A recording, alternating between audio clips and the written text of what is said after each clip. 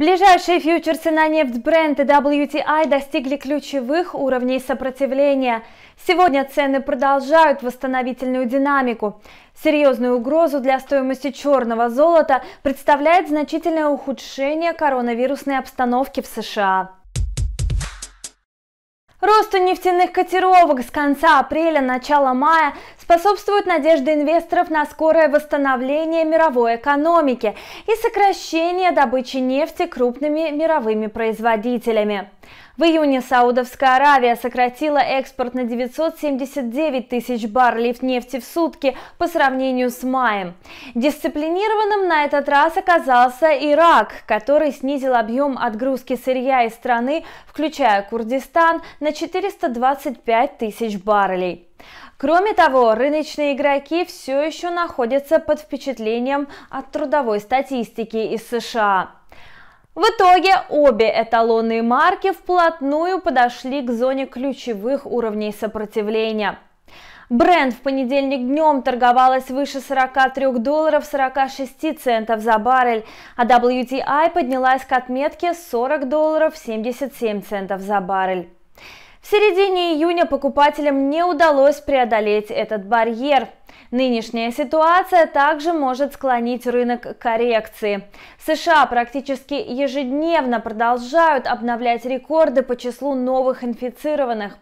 Если обстановка не стабилизируется, то властям придется ужесточить некоторые экономические и социальные ограничения. В мире число заражений приближается к 12 миллионам.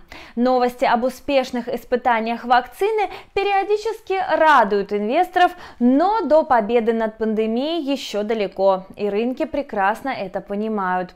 К тому же впереди тревожный месяц. В июле будут подведены итоги трудного второго квартала. Другой интересной темой на нефтерынке на этой неделе станет подготовка ОПЕК+, плюс к новому раунду переговоров по ограничениям добычи. Рубль держится особняком от восстановления нефти и оптимизма на внешних площадках. Давление на российскую валюту, похоже, оказывают опасения по поводу новой волны санкций – со стороны США. Америка активно обсуждает версию о том, что Россия платила талибам в Афганистане за убийство американских солдат. Рубль на дневных торгах вплотную подходил к отметке 72 за доллар. Волатильность на российском валютном рынке и вероятность нового давления на рубль в ближайшее время будут сохраняться. Причин для этого немало. Среди них распространение коронавируса, натянутые торговые отношения между США и Китаем, которые могут обостриться в любой момент. Что касается внутренних факторов, в понедельник Минфин опубликует данные о продажах валюты в рамках бюджетного правила. Ожидается снижение продаж примерно до 140 миллиардов рублей, и это как минимум. При таком развитии сценария рубль будет лишен возможности укрепления. О том, как будут дальше развиваться события на финансовых рынках, вы узнаете из наших следующих выпусков новостей на канале Инста ТВ. До свидания.